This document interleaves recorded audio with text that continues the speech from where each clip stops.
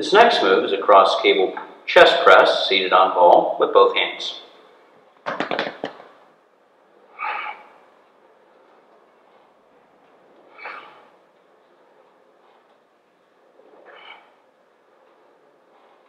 Always exhale through the move, pretty basic. All right, so cross cable chest press, seated on ball, both hands.